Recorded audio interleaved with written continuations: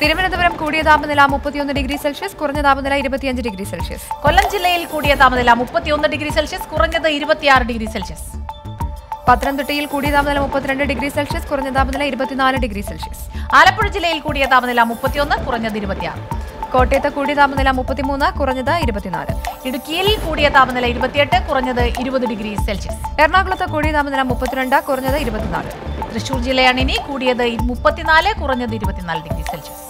പാലക്കാട് കൂടിയ താപനില മുപ്പത്തിമൂന്ന് കുറഞ്ഞത് ഇരുപത്തിനാല്.